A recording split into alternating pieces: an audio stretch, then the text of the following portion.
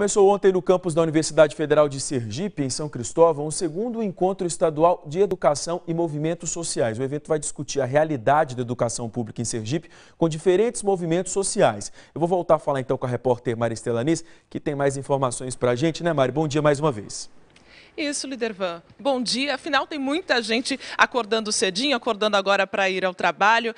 É um encontro muito interessante. A gente vai falar agora sobre educação. Eu já estou aqui com a coordenadora do Grupo de Pesquisa Educação e Movimentos da, Sociais da UFS, porque os movimentos sociais também vão entrar nessa discussão sobre a educação pública no Estado. Já tem programação a partir das 8h30 lá na UFS. Bom dia. Bom dia, bom dia a todos os telespectadores. Nós temos uma programação vasta, começou ontem e termina no dia 18. É um encontro anual que nós realizamos com movimentos sociais, com a participação de educadores, estudantes, profissionais da área, educadores populares de Sergipe e de outros estados da região Nordeste também.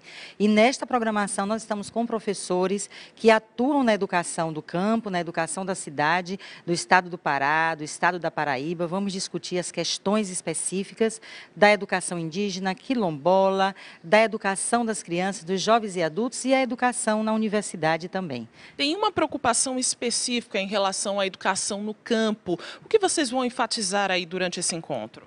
Sim, nós temos uma realidade nacional, e Sergipe não é diferente, que ao mesmo tempo que nós estamos realizando uma grande formação de professores e trabalhadores para atuar no campo, há um modelo de desenvolvimento econômico que vem provocando a expulsão dos trabalhadores. E com isso, o fechamento das escolas. Sergipe, só no Alto Sertão Sergipano, nós já tivemos mais de 40 escolas fechadas.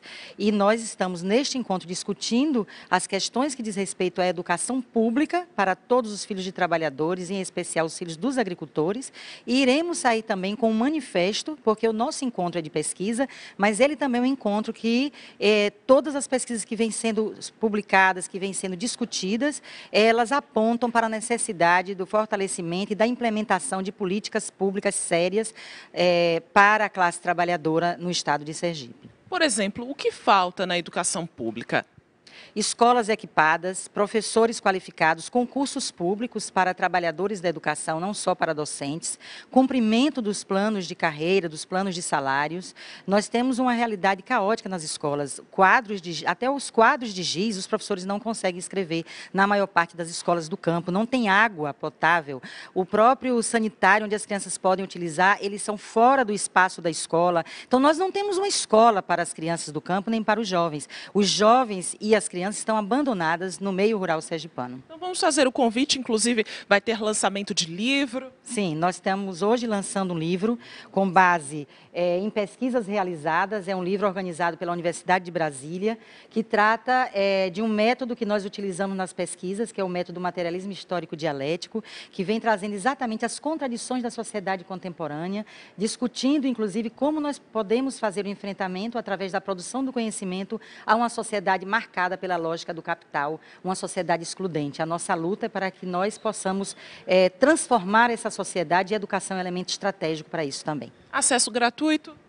O evento ele é gratuito, não tem nenhuma taxa e todos estão convidados a participar. O lançamento será logo mais à noite, também na sede do campus, no auditório da Didática 6. E as palestras e grupos de trabalho também estão ocorrendo em todo o campus de São Cristóvão, articulado também com o campus de Itabaiana.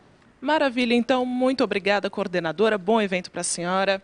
Líder Vé? Isso é sempre muito importante falar de educação, né? Professora Sônia Meire, muito obrigado pela participação, viu? Bom evento. Mário, eu volto a falar com você já já, viu?